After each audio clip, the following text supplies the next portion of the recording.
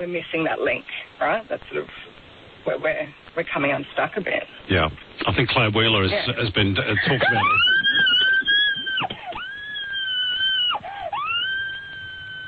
I have no idea what has gone on there.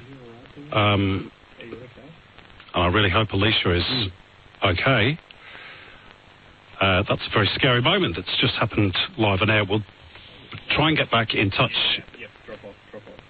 with Elissia.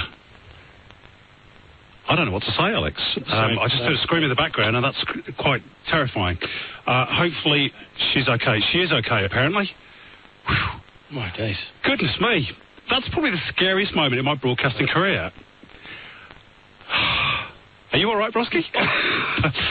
um, is I mean, uh, we're going to okay. we're, we're going to head to a break actually, and we're going to check that Elissia is all right, and we'll be back in a few minutes.